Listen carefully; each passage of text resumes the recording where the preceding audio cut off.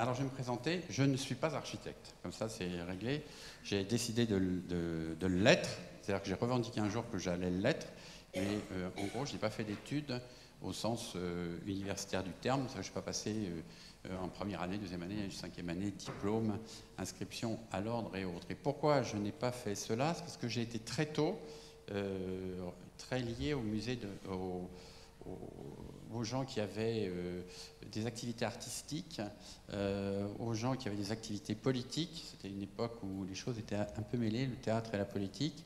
Et j'ai donc très tôt compris que je pourrais faire mon, métier euh, autrement que comme le font les architectes, c'est-à-dire autrement que de partir d'une commande, on pourrait dire. Donc cette commande est des fois un concours et donc il faut rendre une image et, l'image est exécutée, c'est-à-dire que l'image est, reproduite à grande échelle. Et j'ai très tôt compris que j'avais pas envie de faire cela et que ce qui m'intéressait, c'était d'être l'assistant de quelqu'un ou l'assistant d'un groupe qui voulait faire quelque chose. Donc j'ai très tôt euh, été l'assistant de compagnies de théâtre ou d'artistes qui réalisaient des œuvres dans l'espace public. Et c'est comme ça que lentement, je me suis rendu compte que je faisais quand même de l'architecture puisque mettant euh, les œuvres dans l'espace public ou euh, transformant des lieux qui n'avaient pas été construits pour être un théâtre ou pour recevoir du public, je faisais une sorte de transformation d'un lieu euh, qui n'avait pas été fait pour et qui était souhaité d'être transformé, dont l'utilisateur souhaitait sa transformation, mais dont lui-même n'avait pas la compétence de sa transformation. C'est presque au même titre que quelqu'un qui voudrait transformer sa maison, qui éventuellement peut déplacer son lit, euh, peut repeindre la pièce, mais euh, a une difficulté de passer à l'étape supérieure, de supprimer un plancher, de rajouter un étage ou d'étendre la maison. Et donc très tôt, j'ai fait mon, métier comme ça, et ça a été comme une sorte, de, on pourrait appeler ça un métier d'assistant. Voilà, C'était euh, d'écouter ce que quelqu'un voulait faire et dont cette chose n'était pas montrable, elle n'était pas représentée, parce que c'est ce, qui est propre à l'art, si vous voulez, c'est qu'on ne peut pas faire l'œuvre avant de faire l'œuvre. On ne peut pas dire je vais vous montrer l'œuvre que je vais faire, et parce que je vous la montre, je vais vous la commander. Donc euh, je me suis rendu compte que c'était un gros avantage donc, euh, de la démarche artistique, c'est qu'il faut donc faire confiance que l'œuvre est expérimentale, qu'elle peut rater, et qu'éventuellement, donc, elle n'est critiquable que quand elle est réalisée. C'est-à-dire qu'il n'y a pas, euh, on ne peut pas donner un point de vue en cours. on peut donner un point de vue euh, quand elle est finie, mais en cours, puisque ça n'est pas l'œuvre, on ne peut pas la juger. Et donc, comme pour l'architecture, le grand drame, c'est qu'on doit la représenter avant de la réaliser, et qu'il n'y a plus cette transmission de quelqu'un qui a envie de quelque chose et qui ne veut pas le dessiner, qui veut simplement l'exprimer par la parole, et que cette personne qui l'entend peut l'expliquer à quelqu'un d'autre, qui peut la construire, et simplement parce qu'il entend le sens ou l'idée de ce qui va être construit, euh, la personne sait le construire, elle n'a pas besoin de passer par un dessin. Euh, ça a existé pendant une très longue période, euh, peut-être la totalité de l'humanité, et, même pour les grands ouvrages, où chacun prenait un peu sa place, où chacun était auteur à un moment donné de la réalisation de l'œuvre, au même titre que pour un film. Et on peut penser que quelqu'un qui écrit le scénario, euh, le scénario n'a pas de réalité tant qu'il n'y a pas, euh, sais pas, le financement. Le financement n'a pas de réalité tant qu'il n'y a pas le tournage. Et le tournage n'a pas de réalité tant qu'il n'est pas montré à un public euh, qui, voilà, reconnaît dans, dans, le film produit une œuvre ou non.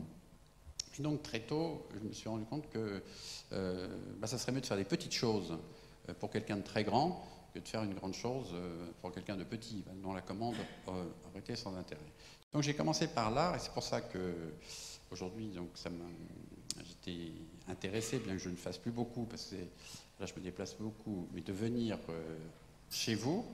D'abord parce que euh, c'est une école d'art, donc j'ai enseigné moi-même dans une école d'art, plutôt que dans une école d'architecture, et que j'ai eu d'ailleurs comme étudiante donc votre directrice, puisque Jeanne a été euh, une de mes étudiantes. Et Jeanne a été une de mes étudiantes, parce que comme tous les gens qui font des écoles d'art, ils rencontrent un jour un problème euh, dans leur, euh, dans leur parcours ou dans leur cursus scolaire ou, estudiantin, parce qu'il n'y a pas cette troisième voie, cette voie artistique présente donc, dans l'enseignement de l'éducation nationale, l'enseignement de l'école primaire, de l'école secondaire, donc du lycée et de l'université. Et donc les parents donc, de Jeanne, qui sont donc deux très grands architectes, dont je connaissais bien donc la mère de Jeanne, donc René Gailloustet, et René m'avait un peu appelé pour me dire qu'est-ce que je peux faire de Jeanne? donc c'est drôle. parce que de raconter ce là euh. non mais parce que il m'est arrivé la même chose pour moi-même, il m'est arrivé la même chose pour mes enfants, il, il m'arrive très souvent la même chose pour les gens que je rencontre, et y compris quand euh, je suis sur un chantier ou que je rencontre quelqu'un qui a une très grande dextérité ou une très grande aptitude à faire les choses, si vous demandez à cette personne quelle est sa formation, vous apercevez que sa formation, euh, en général, est transversale. Elle, a un savoir très pointu, et son savoir est transversal. Et c'est peut-être parce que cette personne a su, à un moment donné, reconnaître que l'enseignement formaté qu'on allait lui donner ne, correspondait pas à sa personnalité, ne correspondait pas à ce qu'elle voulait faire. Et, et quand vous tâtonnez et qu'à un moment donné vous trouvez, vous devenez donc euh, excellent. donc c'est pour dire que, pour ça que moi j'ai toujours défendu les écoles d'art euh, quand, je ne sais plus si ça existe toujours, mais à l'époque euh, on pouvait y rentrer donc sans avoir le baccalauréat. Et, comme j'ai participé à la réforme des enseignements artistiques, j'avais inclus cette clause. Et ensuite, je pensais que c'était intéressant aussi que dans une école d'art, on puisse faire venir quelqu'un qui avait une pratique professionnelle euh, précoce et qui se rendant compte de cette pratique professionnelle précoce avait envie de revenir euh, donc euh, dans un milieu de formation pour apprendre peut-être quelque chose dont elle sentait la nécessité de l'apprendre et non pas d'apprendre pour faire un bourrage de crâne. Donc j'avais fait ça et après je m'étais rendu compte aussi que ces écoles d'art, dans leur implantation géographique, elles ne correspondaient pas toujours aux villes universitaires et elles avaient donc un mode de recrutement qui était plus libre et peut-être plus ouvert, plus large que, que dans les, grandes villes ou les grandes métropoles. pour ça, je suis très content de venir euh, dans votre école aujourd'hui, à Limoges, pour, pour Jeanne et puis pour l'histoire que je vous raconte. Alors, ce que je vais essayer de vous montrer, c'est comment on peut faire en effet un métier qui est pourtant codé, puisque donc pour être architecte, il faut être diplômé. Avant, voilà, passer son diplôme, il faut, quand on a passé son diplôme, il faut s'inscrire à un ordre, euh, qui est l'ordre donc des architectes, puisque vous ne pouvez pas construire si l'ordre des architectes n'a pas reconnu euh, votre activité. Donc c'est assez étonnant, vous voyez, vous avez un diplôme d'État, et ce diplôme ne peut droit, donner droit à l'exercice que si vous vous inscrivez donc à l'ordre des architectes. Ce qui n'est pas le cas pour les artistes. Hein, ce, qui, fait qu'on euh, peut être artiste sans s'inscrire à, l'union des artistes, euh, sans, euh, voilà, on, peut être artiste en, le choisissant, en le décidant, on peut être artiste sans avoir fait d'école, et on peut être artiste en ayant fait une école, on peut être artiste de manière très diverse, on peut être artiste en, production, en produisant des œuvres artistiques, en étant professeur, en étant des fois même un accompagnateur, un assistant et tout, c'est peut-être une formation, euh, moi je voulais toujours faire un inventaire de tous les étudiants qui passent par les écoles d'art et de savoir où on les retrouve après. C'est peut-être une formation justement la plus discrète qui permet de placer les gens. Alors donc du coup, comment peut-on faire un métier d'architecte en faisant la même chose? C'est-à-dire en disant, j'apprendrai mon métier en allant à l'école pour des choses fondamentales, j'apprendrai mon métier en travaillant donc avec des architectes, mais en travaillant chez eux comme une petite main, et j'apprendrai mon métier en étant constructeur, c'est-à-dire en allant donc euh, là où euh, l'architecture est demandée, et, et, elle est demandée sous une forme simple, c'est comment construire la chose que quelqu'un désire et, la chose que quelqu'un veut, veut construire. Alors du coup, euh, on, pourrait penser qu'en faisant comme cela, euh, je ne pouvais faire que des œuvres d'art.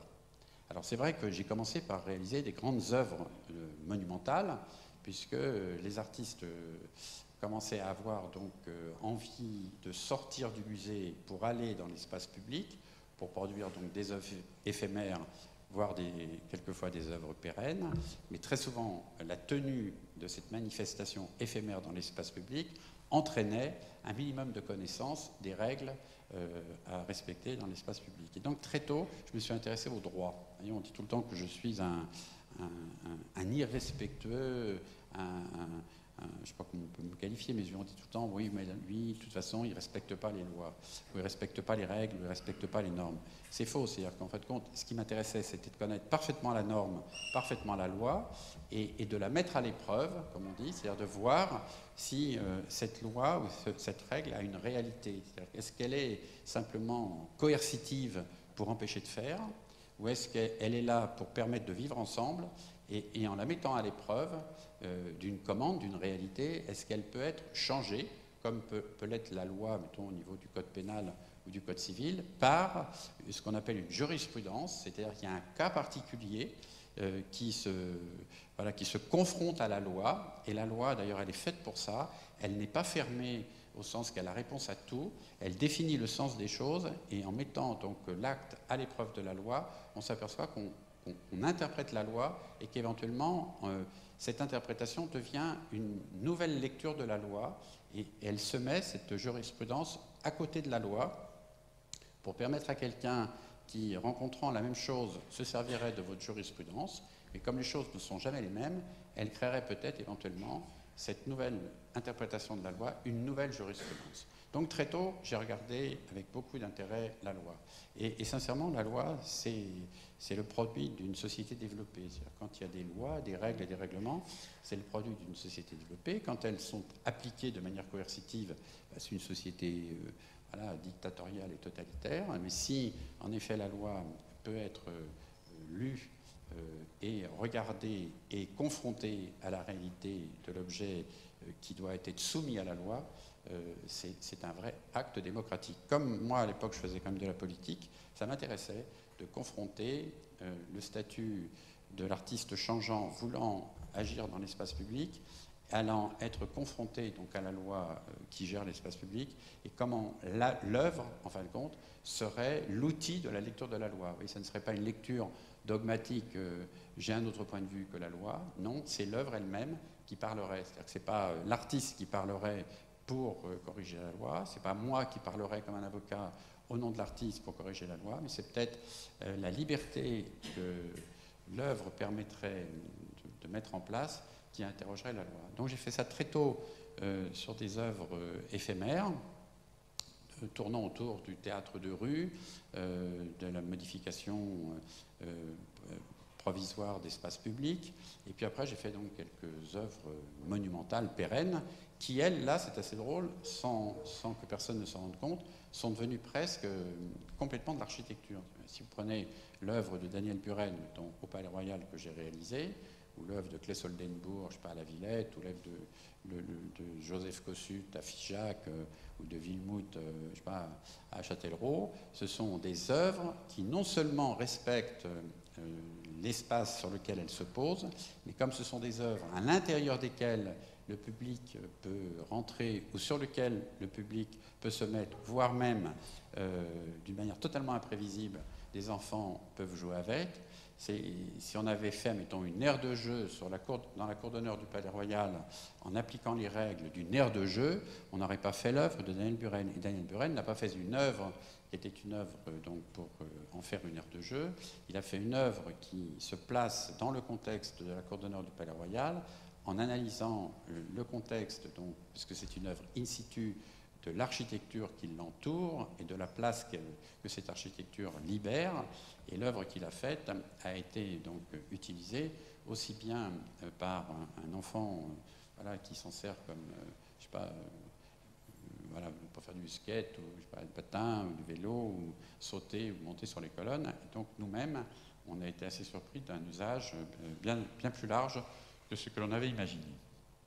Alors du coup, j'ai commencé à faire ce travail et je me suis rendu compte que je pouvais aller un peu plus loin, que peut-être grâce à l'art, qui, avait, qui permettait cette expérimentation, donc comme je l'ai dit, de pouvoir rater, c'est-à-dire qu'on peut rater une œuvre, euh, on peut d'ailleurs rater et recommencer, c'est pas parce qu'on rate qu'elle est immédiatement euh, annulée, on peut rater des étapes pendant le processus de la réalisation de l'œuvre, et, on peut peut-être même en, l'installant euh, produire une, intégration d'un public avec soi que, n'aurait pas une œuvre qui, serait enfin, qui aurait été précédée par un dessin, c'est-à-dire qui aurait en fin de compte retiré l'imaginaire de l'usage de l'œuvre. C'est très souvent le cas des, architectures, c'est que euh, l'œuvre dessinée est, tellement euh, un dessin que quand l'œuvre est réalisée, elle n'est même pas à la hauteur du dessin. C'est-à-dire qu'elle n'est ni à la hauteur d'une construction,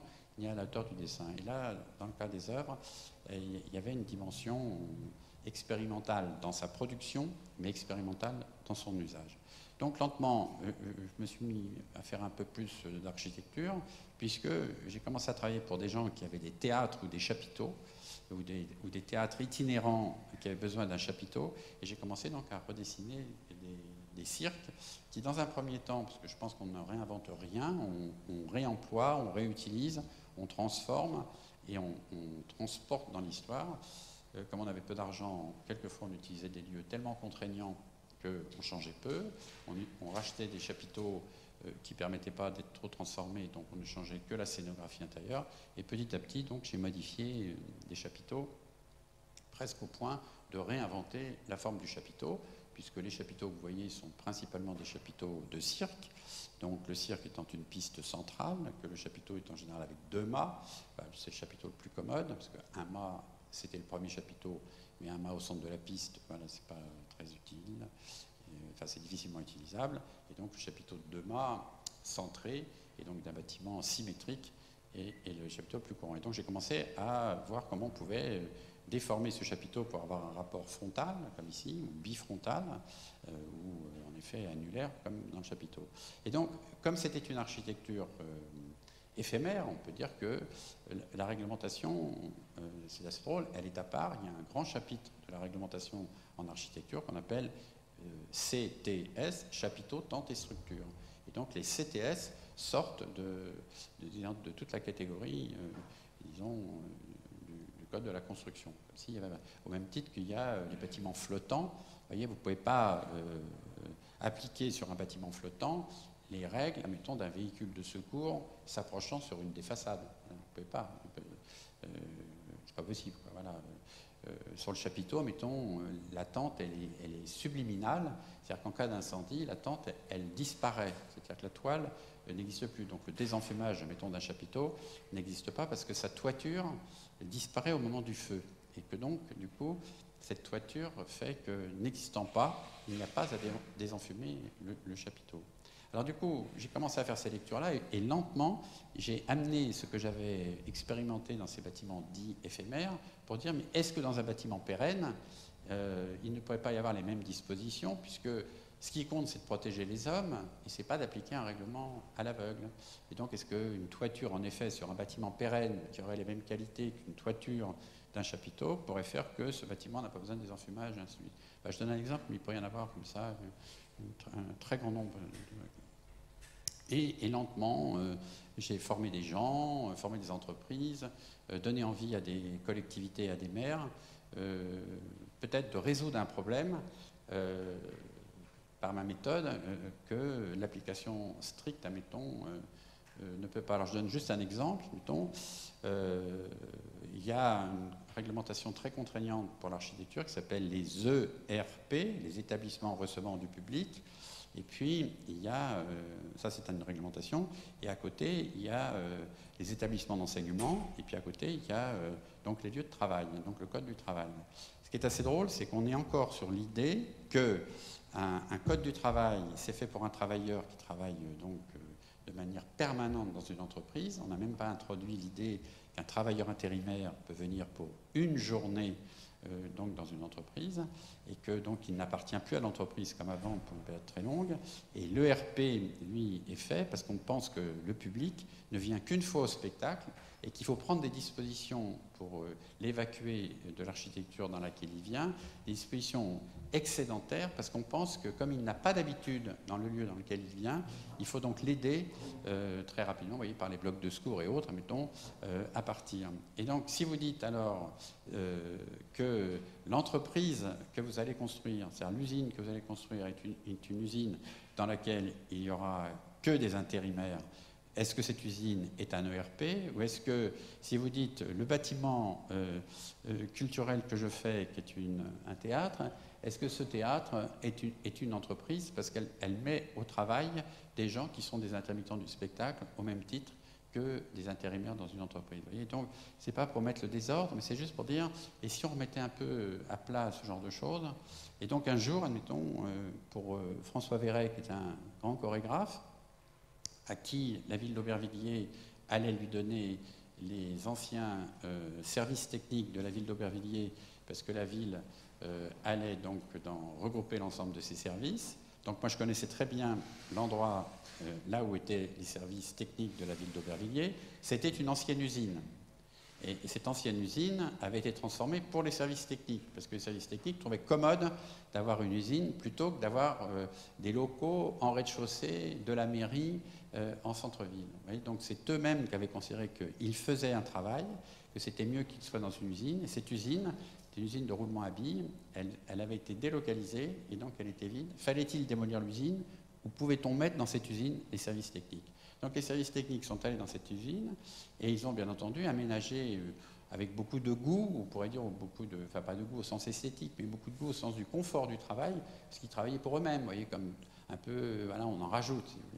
Et il a suffi que les services techniques s'en aillent pour qu'on dise on va mettre François Verret, donc une compagnie euh, euh, faisant de la chorégraphie à cet endroit, pour que d'un seul coup, il y ait une obligation de mettre aux normes ces services techniques par une réglementation infernale qui allait faire que la ville allait dépenser 3 millions de francs à l'époque pour mettre à niveau des locaux qui étaient en parfait état. Donc le maire d'Aubervilliers, qui est une personne que j'aimais beaucoup, qui est très important dans la culture, qui est Jacques Ralit, Jacques m'appelle et me dit Patrick, qu'est-ce qu'on peut faire? Et donc en analysant, on s'est dit, mais imaginons que chaque matin, les gens qui viennent donc euh, travailler dans l'école de chorégraphie, ben voilà, soient considérés comme des travailleurs ou comme des employés ou comme voilà. Il suffirait peut-être que euh, les, cours d'alphabétisation qu'on faisait là soient considérés que. Et on a lentement changé le statut euh, des gens qui allaient venir euh, aux ateliers et on a dépensé simplement 30 000 francs c'est-à-dire qu'on a mis simplement un changement d'enseigne, euh, créé des sanitaires supplémentaires euh, pour handicapés à l'entrée, et c'est tout. Et on n'a rien fait d'autre. Et donc, ni les pompiers, ni le préfet, ni le commissaire de police, euh, ni n'ont considéré que nous avions dérogé et que nous étions malhonnêtes, voyez, au sens de dire oui, ben, on ne protège pas, en fin de compte, les gens qui viennent chez François Verret. Pas du tout. Et peut-être que François Verret, travaillant dans ces locaux, il y avait une dimension plus grande, peut-être même pour un travailleur venant voir euh, euh, voilà, les spectacles de François Verret, de dire ben, c'est vrai que ce lieu est reversible. ce, lieu, euh, il, n'est pas fait peut-être pour ça, mais il, suffit d'avoir de l'imagination pour en faire un lieu reversible. Et peut-être que à l'époque dans laquelle on va rentrer, on n'arrête pas de parler de développement durable et tout, qui est une connerie monumentale, puisque c'est détruire ce qu'on a construit pour construire autrement, soi-disant mieux. Euh, donc, euh, moi, je pense que peut-être que voilà, le développement durable, c'est de rendre reversible ce que l'on a construit et éventuellement mutable euh, et récupérable par le réemploi. Alors, du coup, j'ai fait comme ça des locaux, puis après, je faisais toujours pas de l'architecture, ce qui fait que je n'étais donc pas ils ont contraint par l'ordre des architectes à m'inscrire à l'ordre des architectes. Et donc la première euh, pièce que j'ai faite, euh, très liée à l'art, mais euh, qui était vraiment une architecture, c'est de faire le premier centre d'art à Grenoble, qui s'appelle le Magasin, et au moment où je faisais la cour d'honneur du Palais Royal. Donc c'est Bon, vous êtes trop jeune pour savoir, mais il y a eu un procès énorme au moment de la cour d'honneur du Palais Royal, parce que moi-même j'ai fait de la prison, parce que j'avais donc réaliser une œuvre dans l'espace public sans permis de construire et au-delà de, enfin je n'ai pas fait de la prison, je fais de la garde à vue.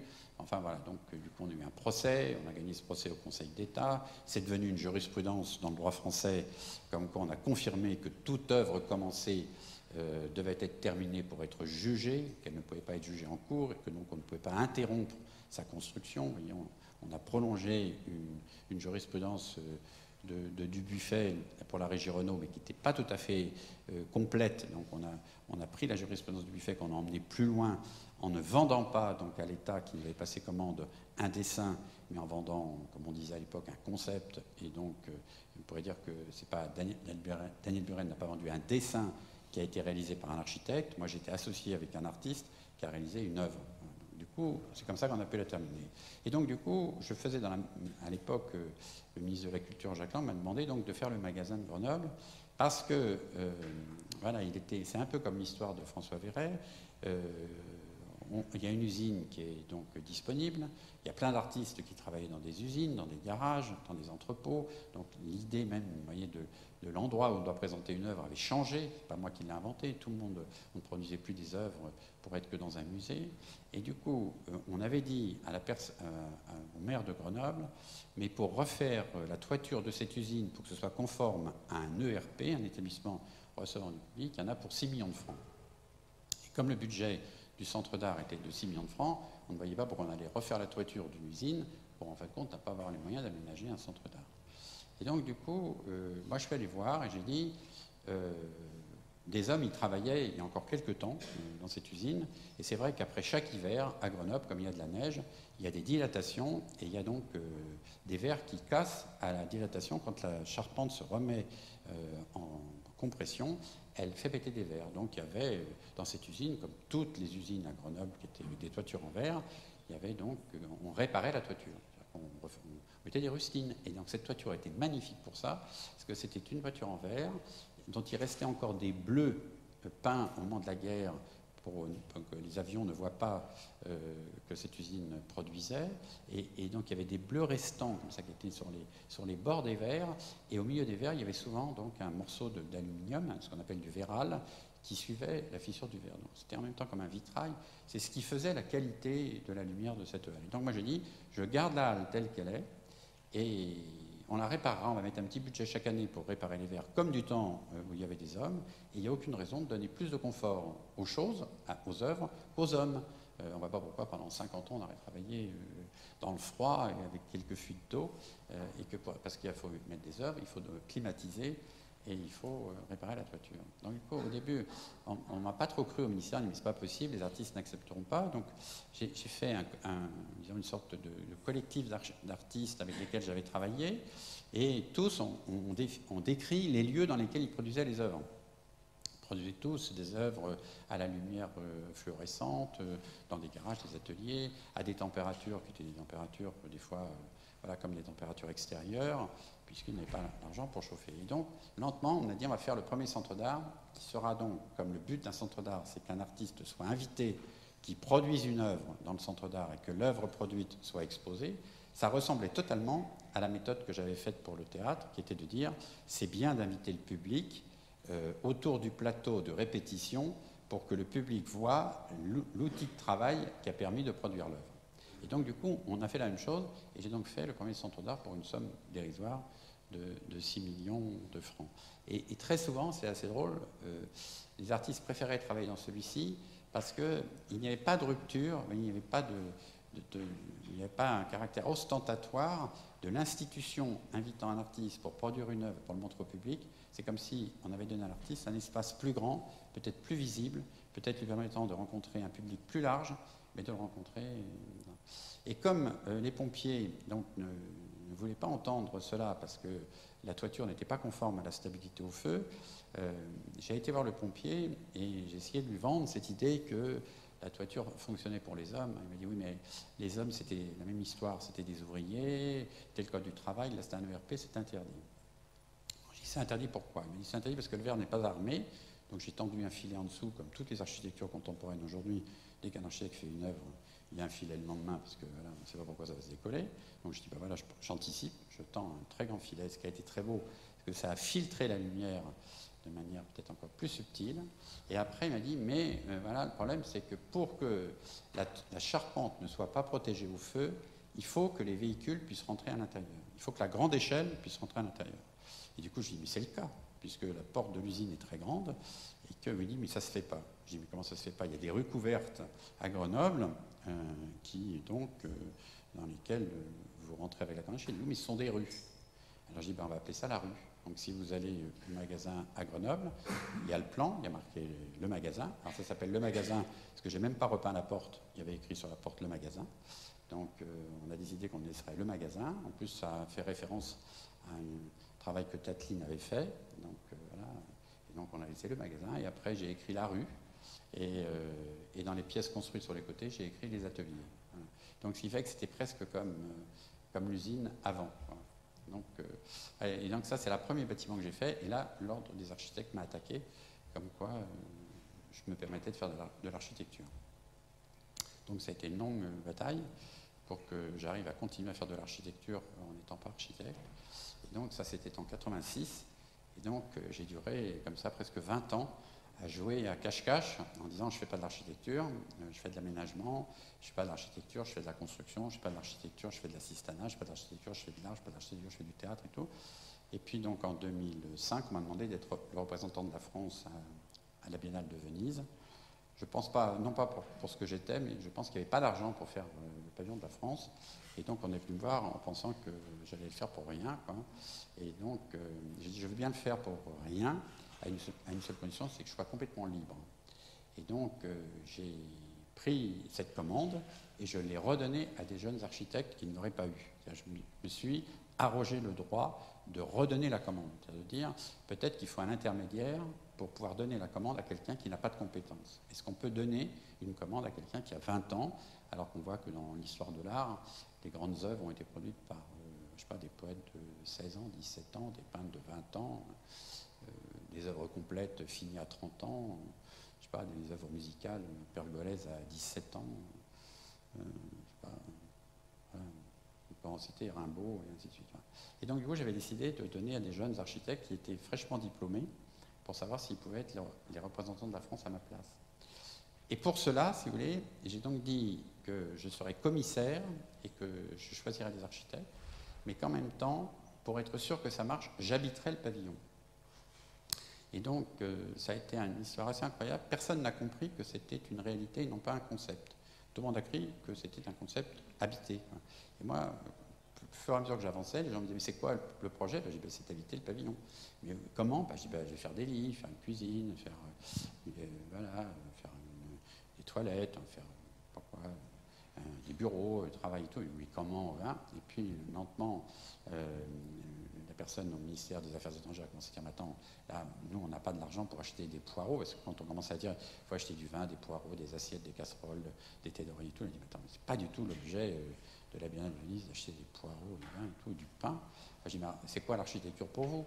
Voilà, parce que euh, c'est une biennale d'architecture. Euh, est-ce que j'ai le droit d'acheter des appareils photo, des ordinateurs, je sais pas quoi, des baguettes magnétiques, des cimaises? Il me dit ah oui, ça bien sûr. Mais alors ça, ce n'est pas, pas de l'architecture, c'est éventuellement un objet d'une architecture pour montrer quelque chose. Nous, on ne va pas montrer une architecture représentée, comme je le dis, ce n'est pas représentable, on va vivre euh, dans une construction qu'on aura autoconstruite et on invitera les gens qui viennent dans une biennale, parce que maintenant, avec Internet, à quoi servent les biennales?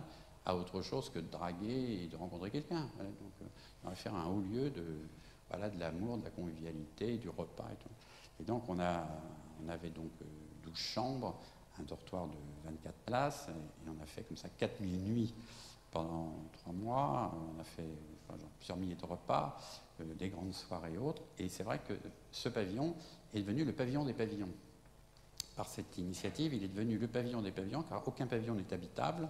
Et du coup, le pavillon de la France était le pavillon de l'Allemagne, de l'Angleterre, euh, euh, de la Finlande, parce qu'il n'avait pas ses services. Et même le pavillon des, des nations qui n'ont pas de pavillon, puisque le Mali, mettons, n'a pas de pavillon. Et donc on, a fait qu'en sorte que si euh, quelqu'un nous demandait, un Malien, de faire du pavillon de la France pendant une journée le pavillon malien, on effaçait Francia et on marquait Mali. on a fait le pavillon de Cuba et autres. Et donc on a fait le pavillon des pavillons des pays qui n'avaient pas de pavillon et des pays qui avaient des pavillons non hospitaliers. Et, le pavillon de la France est devenu le pavillon du débat sur l'architecture. Donc tout ça pour dire que ce n'est pas une forme d'architecture, mais euh, moi je pense que c'en est une. Et là, donc l'ordre des architectes m'a attaqué sec en disant, là c'est terminé, même si ce n'est pas de l'architecture, euh, tu, es à la place euh, d'un architecte, donc on t'attaque au pénal. Donc du coup, j'ai pris ma retraite en 2006.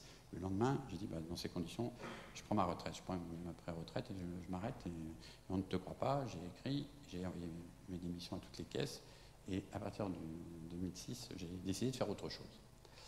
Donc j'ai complètement changé et j'ai décidé de continuer l'expérience de Venise, de ne travailler qu'avec des jeunes, en fin de compte de considérer peut-être que c'est l'école que j'ai jamais faite et l'école que j'ai jamais pu faire dans laquelle j'enseigne, et de faire que euh, on me donne des chantiers et ces chantiers, j'en fais une école. C'est-à-dire que chaque fois qu'on me donne un chantier, c'est une école, mais ce n'est pas qu'une école d'architecture, ça peut être une école euh, éventuellement. Euh, pas, euh, pour quelqu'un qui fait un travail social, est-ce qu'on peut avoir une architecture autre qu'une architecture classique, ainsi de suite? Et donc j'ai appelé ça une université foraine, c'est-à-dire qu'on s'installe euh, pour un temps donné sur un lieu donné avec une équipe donnée pour essayer de répondre à une question donnée et, on part quand euh, la question est épuisée. Ce pas, pas obligatoirement quand on a répondu à la question, mais quand la question est épuisée. Donc on a fait trois grandes expériences. Donc je vais vous en montrer une parce qu'elle est trop, elle est trop drôle. Je vais vous montrer un petit film. J'en ai fait une dans un truc impossible, qui est dans une zone euh, dans le nord de la France, à Boulogne-sur-Mer, des maisons, euh, des logements sociaux qu'on allait raser. Et donc, euh, on a revendiqué de ne pas les raser. Et on nous a dit, vous ne pourrez rien en faire parce qu'ils sont mal construits. On a dit, mais il y a des gens qui n'ont pas de logement. Donc là, il y a des gens dedans. Donc que deviendront les gens quand on les aura rasés? Pas tous les remettre.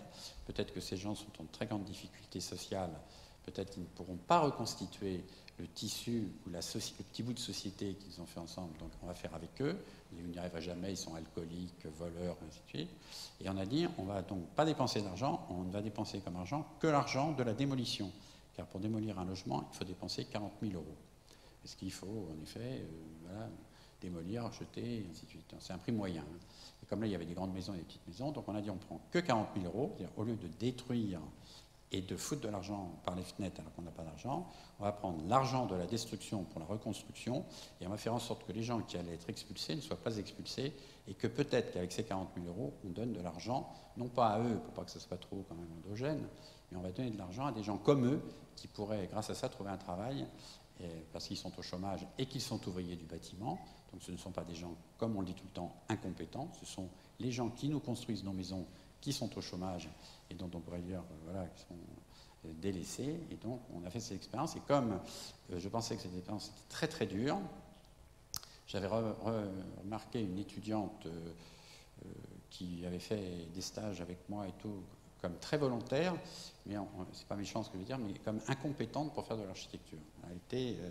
Elle n'était pas faite pour ça. Voilà, elle n'était pas cultivée pour ça, elle n'était pas fine pour ça, elle n'avait aucun. Et donc tous ses professeurs m'avaient dit ça, mais moi je l'avais trouvée extraordinaire cette fille.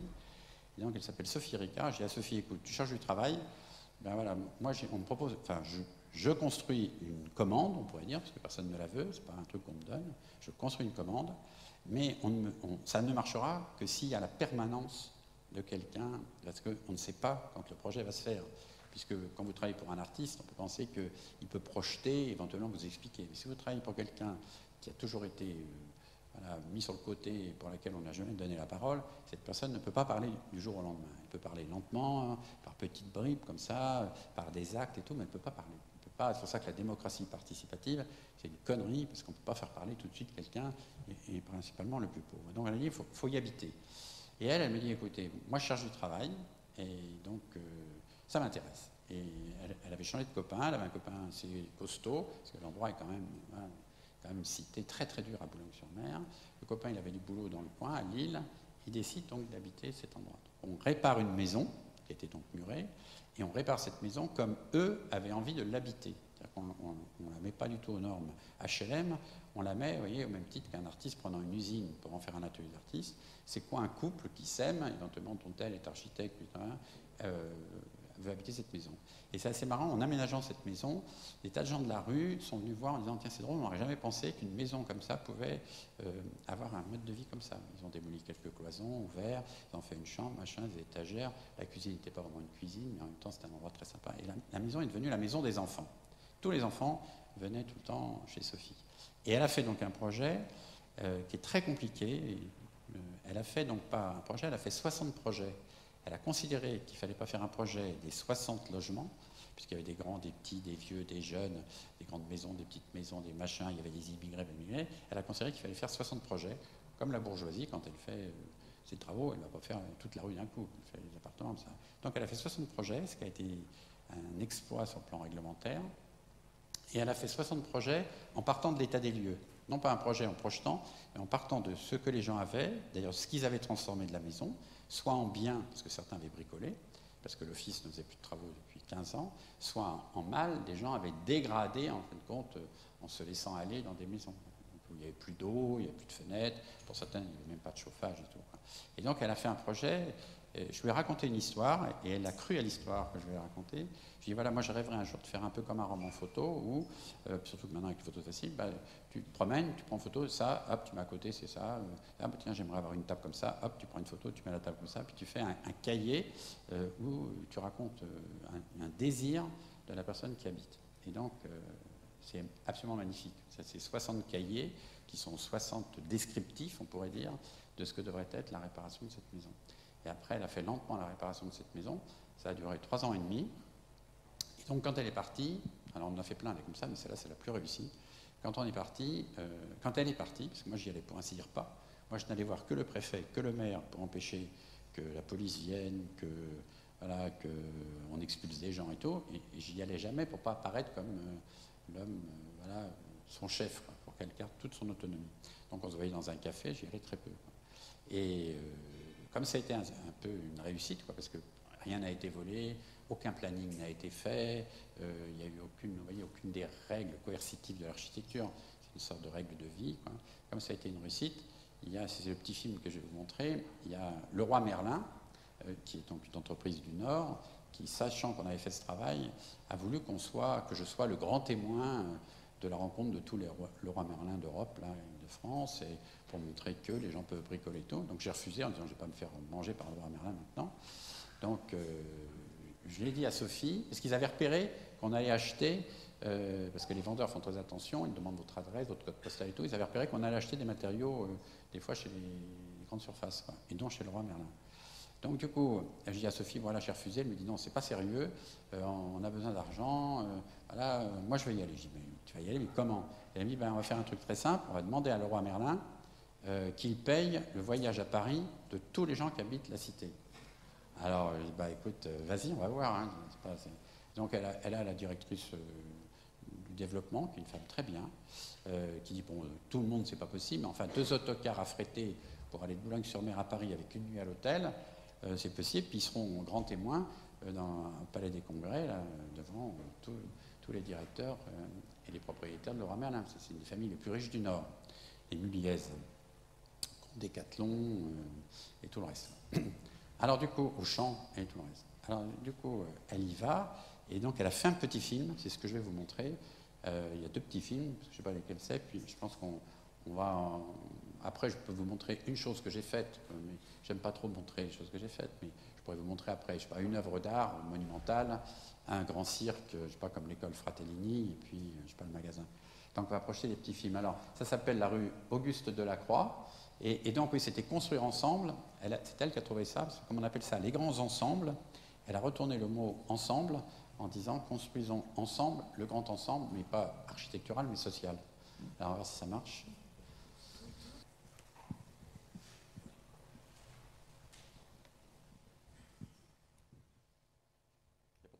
Demain matin. Super. Bah demain alors. À demain. À demain. Au revoir. On sait, puis on, sa vie. Donc c'est Ouais. Toujours pareil, comme l'atelier. Voilà. De rien. Au revoir. Maintenant, il faut venir voir pour savoir si ça vous convient. D'accord. Ou si vous voulez changer de couleur. Donc demain matin, entre 6h30. D'accord, ouais, il n'y a pas de problème. Et puis ce sera suivi d'un petit pot si vous voulez boire un coup avec vos copines, euh, prendre un café. Et être filmé. Et être filmé. Mais c'est juste pour euh, caler, puis euh, voilà. Parce qu'à un moment, il faut commander. Voilà, c'est bon. Ah oui, 10 heures, c'est bien. Impeccable. Très bien. Merci. À demain. Ah, mais je savais pas, j'ai jamais vu. Elle s'appelle comment? Brooklyn. Brooklyn. Salut Brooklyn. Oh, tignaire. C'est cool ça. Ouais. Bon, alors j'ai dessiné, on a vu les couleurs ensemble. J'ai tout dessiné les façades en entier. Donc il faut qu'on vérifie si ça plaît. Ou si vous voulez changer.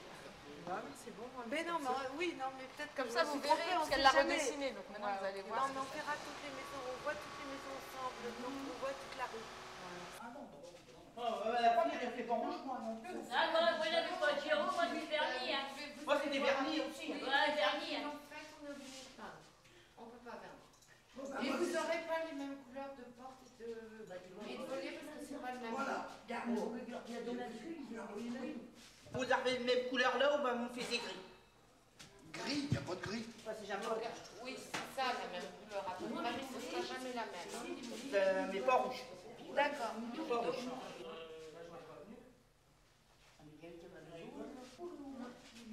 Ah, c'est beau. Oui, vous. Bah, pas. Bah, merci. Bonjour. Non, vous êtes où hein Euh, 11, 20 nominés, 11 de la 3.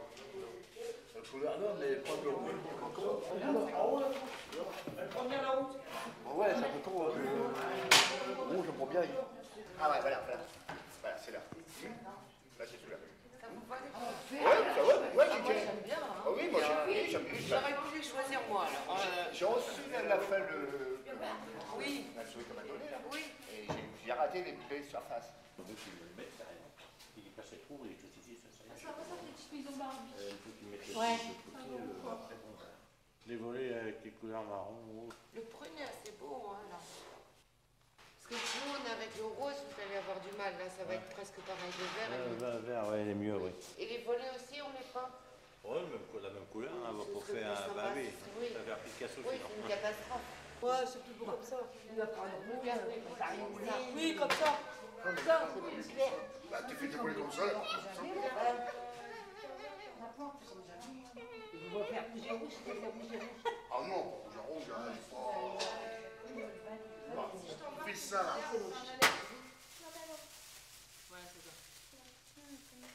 Vas-y. Ah bah oui. Faut tout remplir. Et c'est ouais, voilà, il fait bien coller les formes, comme ça on gaspille pas trop de papier. Et euh, il y a 50 pages à faire. C'est un beau rouge, hein, t'as vu Bien ça ton pinceau, t'es un. Regarde, j'ai fait notre Attends, attends. Toi, t'as fait un peu un cœur, là. C'est toi qui as fait le bleu, là Madame, Donc on, on finit la patate là je mets juste On ça la, là. on la, on la... Il faut les faire la conseillère en peinture. Tu peux. Voilà. Pas tout ce qu'on Hop La là. grosse pièce.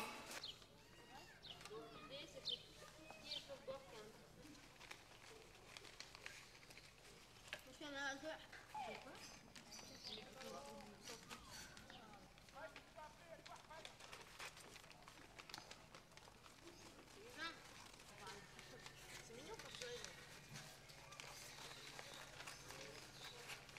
Tiens, on- on- je vais te donner un pinceau. Oh, il y a encore plus beau. On va s'adapter, mais on va prendre ça, ça ira très bien. Euh, le le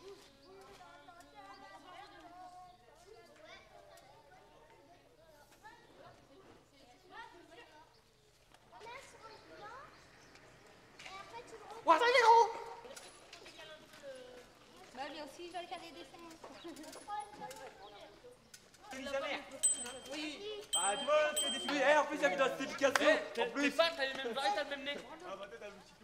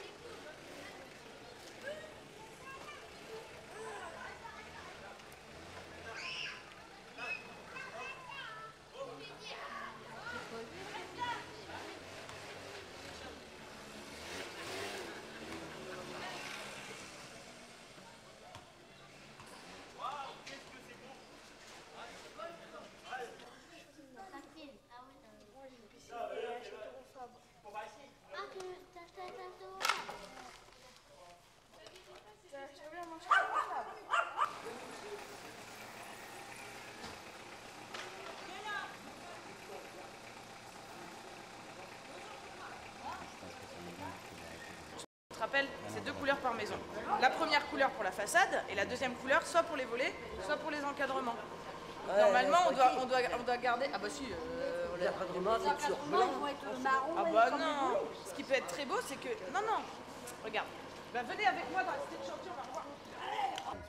On va rallumer. Parce que c'est un long. Je, pensais que c'était un petit film court. Qu'est-ce que quelqu'un peut rallumer? Donc, comme vous l'avez vu, parce que ça, c'est, vous avez que l'épisode sur la couleur, il y a eu le même sur la plomberie, le même sur les toitures, le même sur les cheminées, le même sur les salles de bain. Hein, euh, donc là, elle avait choisi l'épisode le plus chatoyant pour euh, le roi Merlin. Et, et, comme vous l'avez vu, il y a deux personnes, Sophie étant la dernière, l'autre, celle qui l'accompagne au moment de la couleur. J'avais fait venir donc une ancienne étudiante que j'avais eue et qui était plus assurée pour maîtriser les couleurs. Alors pourquoi les couleurs? Parce que les maisons avaient été plus ou moins repeintes par certains, et comme elles allaient être détruites, euh, personne n'avait jamais posé, enfin l'office d'HLM ne s'était pas opposé au fait que des gens aient repeint leurs volets et les murs, mais c'était quand même pour partie coloré. Et quand nous, on a fait le projet, l'architecte des bâtiments de France, puisqu'on est dans un périmètre classé, puisqu'à 500 mètres, il y a la colonne de la Légion d'honneur, euh, de là où Napoléon regardait l'Angleterre pour envahir l'Angleterre. Et donc, l'architecte des bâtiments de France m'a dit, alors si tu gardes les maisons, tu devras retirer la couleur et les peindre en blanc, parce que euh, les maisons se voient de la mer des ferries qui amènent les Anglais. Je dis, attends, c'est pas possible. Avant, elles étaient dégueulasses et peintes, on disait rien. On allait les démolir, on disait rien. On les, on les répare, on permet aux gens quand même d'aller plus loin dans la couleur. Et tu dis non et tout. Alors elle me dit, ah non, mais c'est pas possible. Tout. écoute, on, va dire que c'est un travail artistique. Et donc, ben oui, quoi? Je vais, passer commande à une, jeune artiste. Donc, euh, Anne-Sophie euh, Le Carpentier, qui parle à un moment des couleurs, est venue aider Sophie à faire euh, la couleur. Et comme moi, à cette époque-là, je travaillais sur le Pompidou Mobile et que le Pompidou Mobile venait donc à Boulogne, on avait fait exprès, et que la commissaire de la première exposition du Pompidou Mobile, c'est Emma Lavigne, et qu'Emma Lavigne avait fait une exposition sur la couleur. Donc c'est un travail préparatoire que les enfants font, euh, éventuellement sur euh, Fernand Léger, puisqu'il y a un très beau texte de Fernand Léger sur la couleur en ville, de Le Corbusier sur la couleur, et puis il y avait donc voilà, plein d'artistes qui étaient exposés, dont un très beau, Matisse, un très beau Picasso et un très beau Kupka. Donc elles, font hein, ce travail préparatoire à la visite du Pompidou Mobile, sans aucune préparation pédagogique, c'est-à-dire dire le choc de l'œuvre permettra à un enfant de comprendre voilà, que, comme eux, ben, et mieux qu'eux, et peut-être un, jour comme eux, peut-être, euh, peuvent utiliser la couleur. Donc on en a six heures de films comme ça, quoi. On, a, tout, et euh, euh, on ne sait pas, on va sûrement le réduire à une heure et demie pour en faire peut-être un film, pas en salle, mais peut-être qu'une télévision l'achèterait. Donc tout ça pour dire, si vous voulez, que c'est pas que tout est possible, mais si on prend si on crée la commande, si on invente la commande, et si on, porte la commande, non pas on, se décharge de la commande pour celui qui commande, et on exécute la commande pour celui qui conçoit, et on exécute euh, le projet pour celui qui construit, et on subit la construction pour celui qui habite, on s'aperçoit qu'il y a une sorte de, comme ça, de, passage de l'un à l'autre. Mais toutes les maisons ont été refaites entièrement, toutes les toitures, toutes les fenêtres. On a relevé les toits pour faire des chambres en haut. On a doublé tous les murs, vous l'avez vu, avec des parpaings. Le chantier a été ouvert au public, il n'y a eu aucune palissade. Vous avez vu, les ouvriers passent dans la rue. Moi, j'ai défendu l'idée que c'est comme dans une rue. Quand on fait un appartement, on ne ferme pas la rue. Et donc, euh, les enfants voient leurs parents travailler. Euh, ils sont assis à regarder leurs parents travailler. Voilà. Donc ça c'est un, puis après on passe celui de construire juste pour montrer un. il y a un autre euh, dans, le tableau. Il y a, dans le tableau, voilà. Donc ça, c'est une partie de l'équipe qui travaille. L'idée c'est qu'on a des agences euh, foraines. On n'a pas vraiment de bureau. On, se, on s'implante là où on a des chantiers. Alors vas-y, passe euh, une grande partie. On va passer au hasard. Pas celui-là, non, pas celui-là. On va aller plus loin. Alors un ensemble à non plus. Ça, ce sont des logements sociaux qu'on a fait en Ardèche. Ah, vas-y, passe plus, on va passer sur une œuvre. Ben, voilà, ça, c'est l'ensemble à Boulogne. On a fait la même chose à Tourcoing. Euh, ça, c'est le Pompidou mobile, hein, comme vous voyez. Donc, c'est voilà l'exposition de la couleur. Vous avez à gauche un Kupka, là, le jaune, un Picasso, la femme en bleu, et le plus beau Matisse, que Matisse préférait, est un Matisse qu'il avait fait en venant du Maroc. Donc, qui est un Matisse euh, fortement influencé par la couleur. Ça, c'est un restaurant qu'on a fait grâce à ça pour un jeune chef euh, à Boulogne qui est venu nous faire à manger. Attends, un autre. Ça, c'est une salle de musique actuelle euh, dans un port qui était donc fermé au public et qu'on a fait une passerelle pour pouvoir y aller. Ça, c'est un manège qu'on a fait pour un centre équestre. On travaille toujours pour des associations qui viennent nous chercher. Vas-y, passe voir. Alors ça, ah, ça c'est une histoire. Ça c'est une histoire qui est dans le prolongement typique de, Boulogne, pardon, de Venise. Euh, c'est une archéologue euh, qui découvre au moment où on expulse donc des Maliens d'un foyer de Maliens à Saint-Denis que les maisons dans lesquelles ils étaient étaient des maisons du 15e et du 16e siècle. Et comme la ville avait mis 20 ans pour reconstruire des logements, pour permettre de mettre les Maliens donc, dans des logements neufs, euh, la ville était prête à démolir tout de suite, faire, faire table rase pour être sûr que euh, le squat ne soit pas repris. Et donc, en, commençant à démolir, elle, elle s'inquiète. Elle est une des rares archéologues de la banlieue, Nicole, et elle m'appelle. Elle me dit Patrick, il faut que tu appelles le maire, il faut qu'on garde sa maison. Je dis, non, c'est impossible quand il sa maison. Elle me dit, mais écoute, appelles le maire, le maire. On emmène le maire, et je dis au maire, on ne peut pas détruire deux maisons du 14e, 15e et un relais de poste en bas du 16e, c'est pas possible. Il dit, mais j'ai pas l'argent. Ah, j'ai écoute, on va faire un truc très simple, on va faire qu'un échafaudage et une toile sur l'échafaudage, et, et, ça durera 20 ans, 30 ans, on s'en fout, mais au moins on a protégé les maisons, si un jour tu as l'argent, tu les restaures, mais on va faire un échafaudage qui va pouvoir être euh, ouvert au public pour que pendant tout ce temps, des gens viennent voir des maisons et éventuellement circulent à la hauteur des charpentes, ce qui ne se fait jamais. Quoi. Donc on a fait un, échafaudage transperçant comme ça, et comme je l'ai fait avec les jeunes avec qui j'avais fait Venise, je leur dis tiens, est-ce que vous voulez le faire? Parce que c'est un truc pour vous, ils l'ont fait, et eux ils ont fait un, échafaudage recouvert comme dans l'île mystérieuse, vous voyez, d'un champignon qui pousse, quoi, comme ça. Et c'est assez marrant, c'est en montrant cette chose au maire que le maire a dit Ah, bah, si c'est ça, en effet, on va en faire un centre d'interprétation du patrimoine. On va faire en sorte qu'on emmène les scolaires à cet endroit et tout. Et, du coup, vous voyez, au pied ici, là, il y a euh, une fouille qui continue. Et il y a le container, qui est le container donc, euh, des archéologues. Il y a l'escalier qui est le même pour les ouvriers et pour le public. Et à l'intérieur, les passerelles sont exactement les mêmes. Et du coup, le bar d'en face, euh, maintenant, marche mieux parce que des gens viennent visiter. et ça suffit. Peut-être qu'il ne fallait pas les restaurer. donc, euh, ça a coûté euh, le, dixième du prix, et c'est peut-être mieux qu'une restauration euh, qui aurait, par la taille des maisons, fait en sorte qu'on n'aurait pas pu faire rentrer beaucoup de public dedans. Et peut-être qu'en mettant l'intérieur aux normes d'un établissement recevant du public, on aurait détruit l'esprit d'une maison du 14e, du 15e et du 16e siècle. Et ce qui est drôle, c'est que ça, c'est devant la basilique, et que l'architecte en chef de la basilique, maintenant qui est directeur d'une école d'architecture, Mengoli, euh, m'a dit Mais moi, je m'en fous parce que c'est provisoire.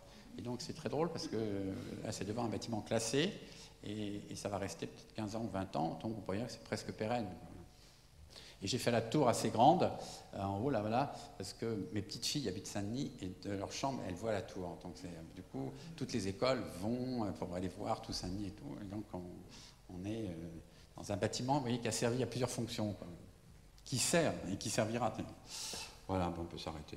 Euh, c'est encore une à travers, je ne sais pas ce que c'est. Ah oui, ah, ça c'est un centre social euh, provisoire qu'on a fait. Non, ça c'est une autre idée, c'est de faire un équipement en France et de prendre 10% euh, de cet équipement pour construire le même équipement dans le pays d'origine des travailleurs immigrés qui, font le chantier. Vous pouvez construire un centre social, mettons pour, je sais pas, 500 000 euros en France, provisoire comme ça, parce que c'était, en attendant le centre définitif, il viendra peut-être jamais, et pour 50 000 euros, pouvez construire euh, un centre social euh, en Algérie. Et donc l'idée, c'est toujours de faire des vrais jumelages où les travailleurs donc, euh, qui, en France, des fois, ont la double nationalité, puissent avoir dans leur village un centre social. Donc ça aussi, c'est à Nanterre. Vas-y, passe vite. Ça, tu peux passer vite, c'est l'immigration. Ah, et c'était aussi pour voir qu'on peut faire aussi un centre commercial. On a fait, euh, j'ai fait un centre commercial à Nantes après avoir fait lieu unique. Euh, les gens du centre commercial m'ont dit Vous ne travailleriez pas pour le diable. J'ai dit Si, le diable me laisse libre, je veux bien. Et donc, on a fait un centre commercial en, construisant un autre centre devant le centre. On n'a pas démoli l'ancien centre. Donc, on n'a pas fermé. Ça, c'est, alors ça, c'est aussi un, sujet, on s'arrêtera là, c'est un sujet assez étonnant. J'occupais un terrain avec un théâtre, et ce terrain euh, est devenu très beau parce que à côté la ville s'est construite et nous on a gardé tous les arbres de ce terrain. Et un jour le maire me dit on va mettre sur votre terrain des algécos pour une école provisoire parce qu'on a un pic de population, on a des jeunes qui arrivent, et l'école de, de, la ville ne peut pas accueillir pendant 10 ans ce pic de population. Après, ça se régulera. Et moi, je lui dis, écoute, il n'en est pas question, il n'y aura pas d'Algeco sur notre terrain, on va construire que chaque classe sera une maison, et donc, quand on n'aura plus besoin des classes, plutôt que de jeter les Algeco et qu'une génération complète habite des Algeco, on va faire en sorte que les enfants euh, laissent leur classe pour que ça devienne une maison. Et donc, euh, on a donc, du coup, grâce à ça, échappé à toute la réglementation de l'éducation nationale, puisqu'on est parti de la réglementation des Algeco et non pas des classes. Et donc, chaque classe, si vous voulez, entre chaque classe, vous avez un garage, voilà, qui est un garage, qui est un atelier pour le moment. Chaque classe est une maison, mais chaque classe a son préau. Elle a un tout petit préau avec un banc, il n'y a pas de grand préau. Chaque classe a une cuisine, chaque classe a une petite, euh, un WC et une, petite douche. Donc, ce qui fait que, y compris pour ça, euh, chaque classe a son poêle, chaque classe a son chauffage indépendant, chaque classe récupère l'eau pluviale et, chaque classe a un petit jardin. Et, du coup, les professeurs au début ne voulaient pas y aller, pensant que c'était voilà, une baraque foraine. Et depuis, donc ça fait 6 ans ou 7 ans qu'elle y est, cette école, euh, il s'avère qu'il y a moins de violence dans cette école, parce que chacun est responsable de sa maison, qu'il y a l'atelier partagé, qu'on on ne court pas dans le préau pour aller aux toilettes, on ne demande pas pour sortir, on se lève, on va aux toilettes. Et donc maintenant, les, professeurs veulent la garder comme école expérimentale, et peut-être qu'elle ne sera jamais détruite, mais si elle devait l'être, elle serait, ça deviendrait des maisons. Voilà, et on s'arrête là. Parce qu'après, il y en a. J'ai 45 ans, alors donc, euh, de, pas d'âge, de vie professionnelle. J'ai 70 ans aujourd'hui, donc ça va. Bon, allez, on allume.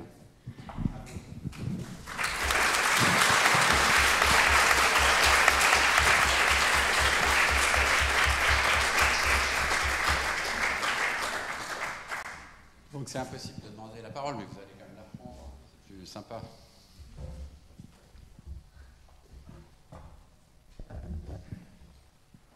Vous voyez, c'est le rapport. On continue à faire des amphithéâtres comme ça. C'est ni une scène, ni une tribune, ni une plateforme, rien. Terrible.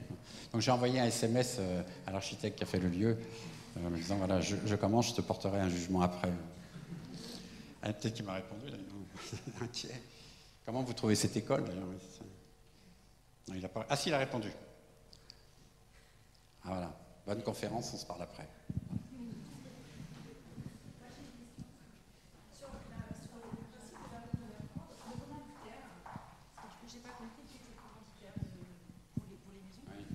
Alors le commanditaire, c'est moi j'ai souvent un commanditaire par défaillance. C'est-à-dire que vous avez, admettons, tout est organisé en France quand ça marche bien, quand ça marche pas, plus rien n'est organisé. Donc normalement, le commanditaire de cet endroit, c'est euh, dans le cadre des opérations en rue, donc du renouvellement urbain, il était donc question de démolir ces maisons, puisque voilà, elles faisaient tâche, comme on dit, par rapport à l'esprit qu'on pense euh, développer aujourd'hui dans les cités. Mais comme il manquait d'argent en plein milieu de l'opération en rue, on avait peut-être l'argent pour les démolir, mais pas l'argent pour reconstruire. Donc le maire, quand même, se pose la question, moi, sur le plan social, ça veut dire que je vais, je vais me retrouver avec 300 personnes à la rue. Que, alors en effet, je peux masquer, je peux me mettre dans une ville plus pauvre encore que la mienne, à force de mettre les plus pauvres et les plus pauvres plus loin, ça ne va pas tenir longtemps comme ça. Quoi. Puis on n'est pas loin de Sangatte, avec quand même euh, un problème d'immigration terrible. Euh, voilà. Et, de violence terrible. Alors du coup, le maire s'est dit, euh, il faut qu'on trouve une solution. Alors il a demandé à son office d'HLM euh, de trouver une solution. Et son, office son directeur d'office, c'est pour ça que c'est très important, les relations honnêtes et les relations amicales dans la vie, ce, ce directeur d'office d'HLM avait été office d'HLM, ça va vous paraître ridicule, mais office d'HLM, directeur d'office d'HLM, peut-être pas directeur, mais directeur technique, à Bourges, là où j'enseignais à l'école des beaux-arts et où Jeanne était étudiante. Et à l'époque, j'avais fait une opération d'essayer justement de travailler dans les Gipes-Jonf, qui était une zone très dure à Bourges, avec Claude Lévesque, puisque j'ai eu Claude Lévesque comme premier étudiant à Bourges. Et donc avec Claude, on avait fait un travail au Gipes-Jonf. Il avait occupé des appartements et tout. Ce type se rappelait de moi, et donc m'a appelé en me disant Est-ce que tu voudrais pas venir? Là, je suis devant un problème insoluble. Et donc, moi, euh, j'y suis allé, j'ai dit, mais il y a une seule condition, c'est que moi, je ne vais pas faire euh, un truc comme ça en plâtrage, je vais en faire une expérience. Donc, euh, on a analysé le dossier, et j'ai dit, voilà, moi, je voudrais éventuellement avoir moins d'argent, mais avoir de l'argent libre. C'est-à-dire avoir un argent qui ne soit pas contraint par les règles classiques de passation des marchés et tout. Il m'a dit, c'est impossible. Alors, je dis, mais pourtant, tu as bien de l'argent en régie. puisque quand on est directeur d'office, on fait de l'entretien en régie, en passant par des entreprises d'insertion qui ont pour objet, et on, mais toujours pour faire des travaux de merde, pour faire éventuellement réparer des carreaux ou le miroir dans l'ascenseur. Je dis donc on va prendre le même principe, tu as, une possibilité de dépenser de l'argent en régie, donc de passer commande à une association dont le principe est de l'insertion, c'est-à-dire de remettre des gens au travail. Il m'a dit dans ces conditions, c'est OK. J'ai convaincu le maire. Bon, Jacques Lang avait été euh, euh, euh, député du coin, donc Jacques m'a aidé. J'ai appelé Jacques, il m'a aidé, président de la région. Non, mais moi, moi je ne me suis pas fait payer sur cette opération. L'idée, c'était je ne me fais pas payer. D'abord, il n'y avait pas de quoi se payer, il y avait le paiement pour un, parce que trois ans pour un chantier de cette taille-là, mais il y avait de quoi réellement payer cette jeune architecte. Elle, elle a été réellement payée. Mais moi, je n'étais pas payé. donc, c'était l'idée de dire est-ce qu'on peut à un moment donné donner du temps comme, voilà, comme quelqu'un qui transmettrait quelque chose à quelqu'un, permettre à quelqu'un de faire et révéler que c'est possible. Donc vous voyez, c'est une façon de retourner la commande. Et je pense que c'est comme la commande un peu artistique. Vous ne pouvez pas attendre d'une commande artistique que voilà, vous commande pour faire une œuvre. À un moment donné, vous allez produire quelque chose et essayer de voir si ce que vous avez produit euh, est demandé. Je ne sais pas si ce que vous avez produit est regardé. Hein, c'est un peu ce travail. Il faut des fois recevoir une commande et des fois il faut provoquer la commande. Mais dans le social, comme là, vous allez vivre une période dramatique sur le plan social et culturel, puisqu'on va réduire les crédits. On n'est pas du tout en crise au sens global du terme, on est en crise sur ça. On va réduire les crédits de la culture et on va réduire les crédits euh, euh, dans le social, ce qui est une honte, mais on, ne va pas ne pas pouvoir le faire. C'est pas possible de ne pas le faire. C'est pire. Les 300 personnes à la rue coûtent bien plus cher que 60 fois, parce que 60 fois 40 000 euros, hein, ça fait que 2,4 millions. Hein, pas beaucoup. Donc c'est comme ça, mais c'est tout le temps comme ça pour tout. Hein. Il faut absolument. C'est pas demander moins. Euh, vous voyez, pour le, le SIAP là, que vous avez vu, c'est 10 fois moins pour en faire peut-être 10 fois moins, mais pour en donner 10 fois plus. C'est totalement l'inverse.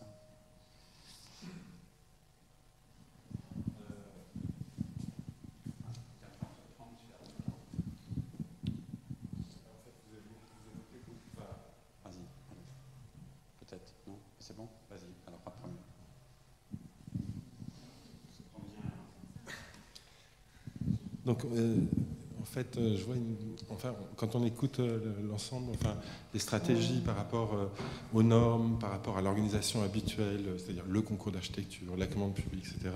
Donc, de manière générale, il y a une manière toujours de, regarder un peu en travers et finalement de questionner les catégories, les liens, les processus.